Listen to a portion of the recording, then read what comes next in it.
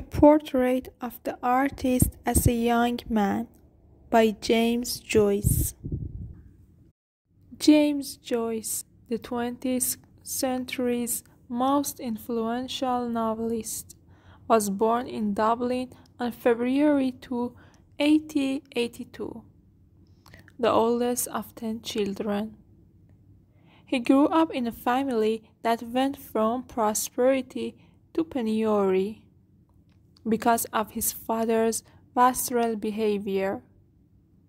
After receiving a rigorous Jesuit education, 20 year old Joyce renounced his Catholicism and left Dublin in 1902 to spend most of his life as a writer in exile in Paris, Trieste, Rome, and Zurich. On one trip back to Ireland, he fell in love with the now famous Nora Barnacle on June 60, the day he later chose as a Bloomsday in his novel Ulysses.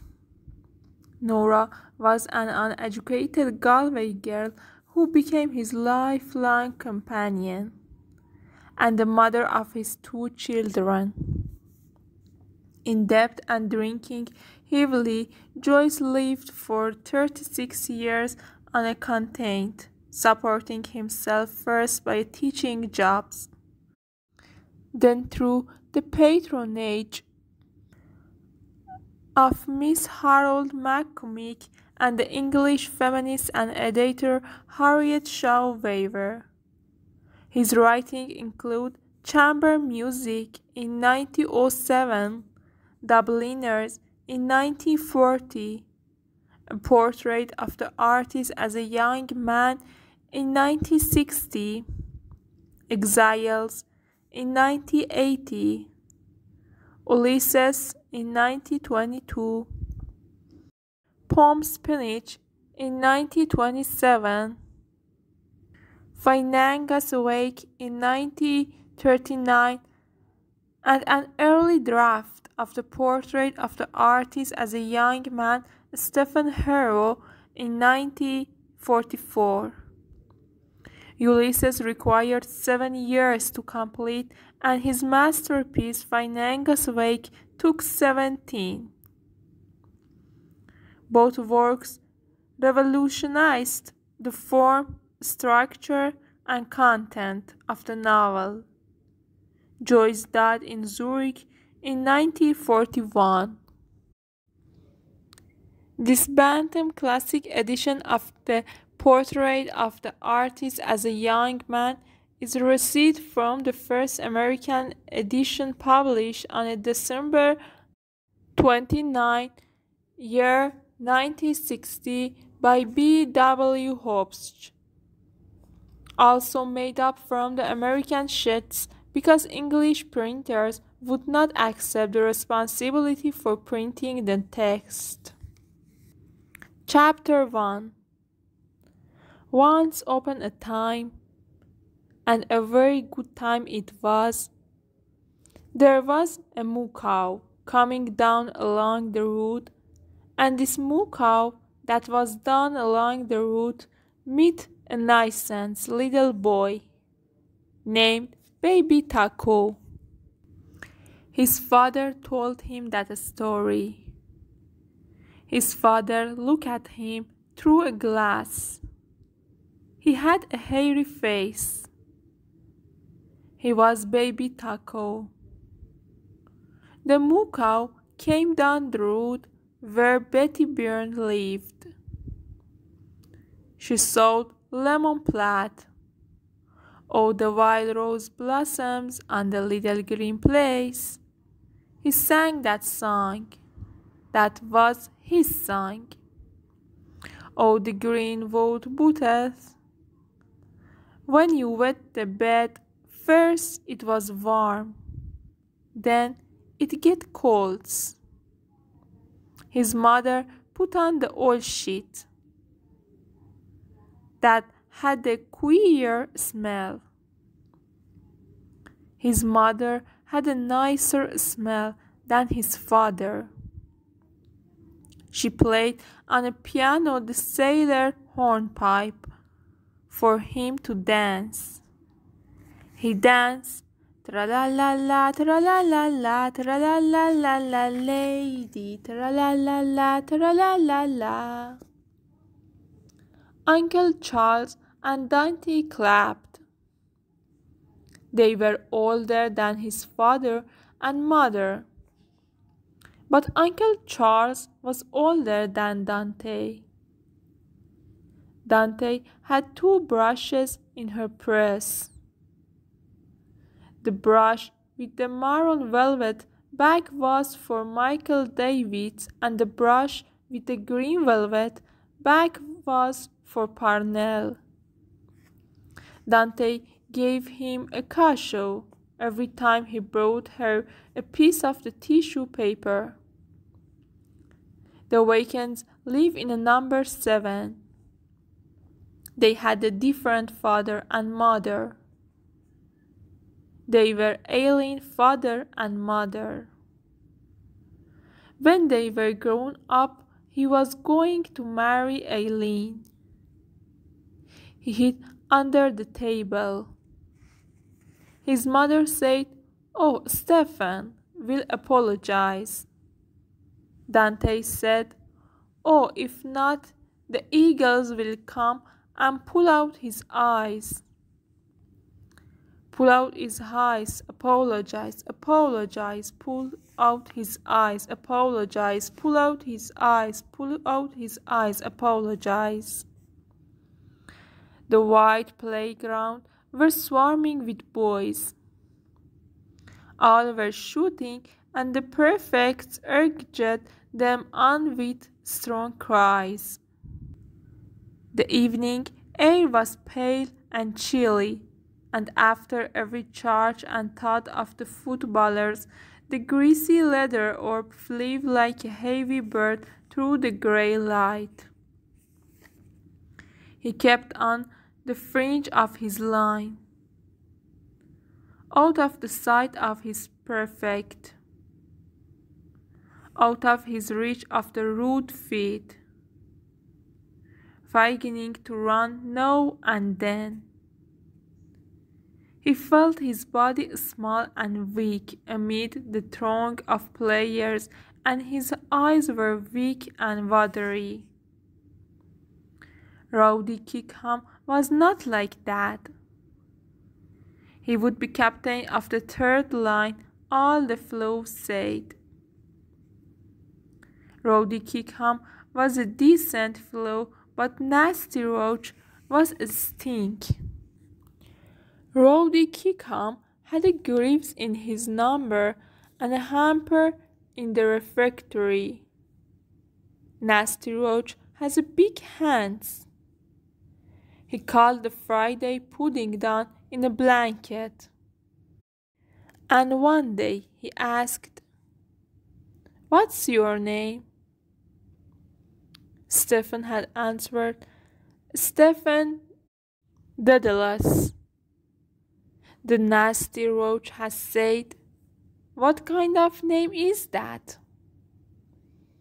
And when Stephen had not been able to answer, Nasty Roach had asked,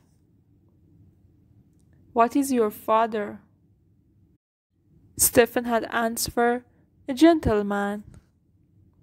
The Nasty Roach had asked, Is he magistrate? He crept about the from point to point on the fringe of his line, making little runs now and then. But his hand were bluish with cold. He kept his hand in a side pocket of his belted grey suit. That was a belt round his pocket, and belt was also to give a fellow a belt. One day a fellow had said to Cantwell, I'd give you such a belt in a second. Cantwell had answered, Go and fight your match. Give Cecil Thunder a belt. I'd like to see you, he'd give you a two in a romper for yourself. That was not a nice expression. His mother had told him not to speak with the rough boys in a college. Nice mother. The first day in the hall of the castle, when she had said goodbye, she had put up her veil double to her nose to kiss him. And her nose and eyes were red. But he had pretended not to see that she was going to cry. She was a nice mother. But she was not so nice when she cried. And his father had given him two five shilling pieces for pocket money. And his father had told him if he wanted anything to write home to him, and whatever he did, never to pitch on a fellow. Then, at the door of the castle, the rector had shaken hands with his father and mother, his soothing fluttering in a breeze. And the car had driven off with his father and mother on it. They had cried to him from the car, waving their hands. Goodbye, Stephen, goodbye. Goodbye, Stephen, goodbye. He was caught in a whirl of the scrimmage and fearful of the flashing eyes and moody butts. Bent down to look through the legs. The fellows were struggling and groaning, and their legs were rubbing and kicking and stamping. Then Jack Lawton's yellow boots dodged out the ball, and all the other boots and legs ran after. He ran after them a little way and then stopped. It was useless to run on. Soon they would be going home for holidays. After supper in a study hall, he would change the number pasted up inside his desk from 77 to 76. It would be better to be in a study hall than out there in a cold. The sky was pale and cold, but there were lights in a castle. He wondered from which window Hamilton Rowan had thrown his hat on the ha ha and had there been beds at the time under the window. One day, when he had been called on the castle, the builder had shown him the marks of the soldiers' slugs in the wood of the door and had given him a piece of the short bird that the community ate. It was nice and warm to see the lights in a castle. It was like something in a book. Perhaps Leicester Abbey was like that.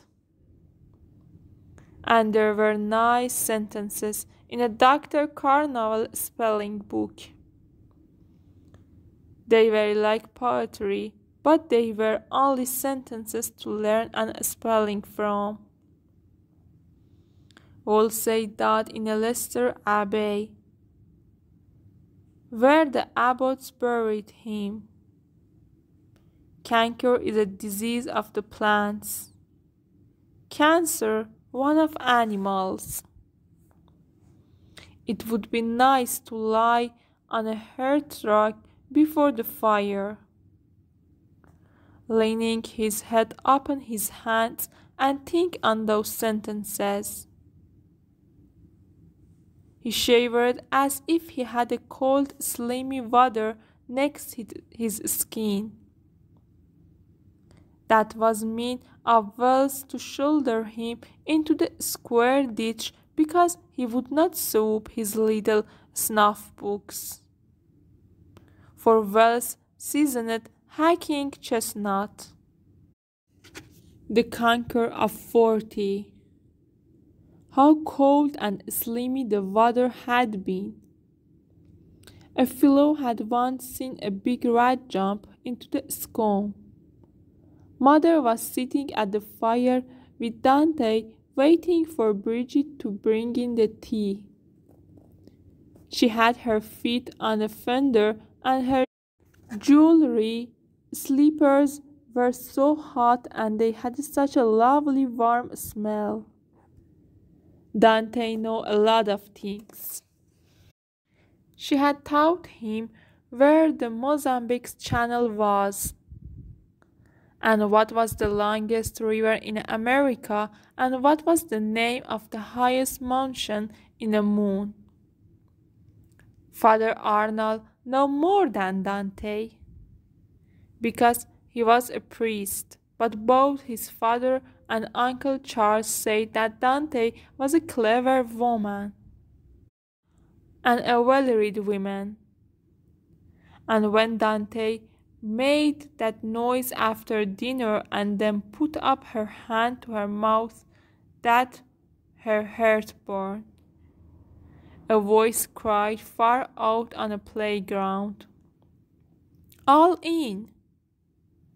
Then other voices cried from the lower and third lines, All in, all in! The players clustered around. Flushed and muddy. And he went among them, glad to go in. Ruddy Kickham held the ball by its greasy lace. A fellow asked him to give it one last. But he walked on without even answering the fellow. Simon Moonan told him not to, because the prefect was looking. The fellow turned to Simon Moonan and said, We all know why you speak. You are a McGlad sock. Sock was a queer word. The fellow called Simon Moonan that name because Simon Moonan used to tie the prefect false sleeves behind his back and the prefect used to let on to be angry. But the sound was ugly. Once he had washed his hands in the lavatory of the Wicklow Hotel and his father pulled the strapper up by the chain after the dirty water went down through the hole in the basin. And when it had all gone down slowly, the hotel in a basin had made the sound like that. Suck, only louder. To remember that and the white look of the lavatory made him feel cold and then hot. There were two cocks that you turned and water came out, cold and hot. He felt cold and then a little hot, and he could see the names printed on a cocks. That was a very queer thing. And the air in a corridor chilled him too. It was queer and wettish but soon the gas would be lit and burning it made a light noise like a little song. Always the same. And when the fellows stopped talking in the playroom, you could hear it. It was a horror for Psalms. Father Arnall wrote a hard Psalms on a board and then said, now then, who will win? Go ahead, York. Go ahead, Lancaster. This video is made for Navid Dariya page.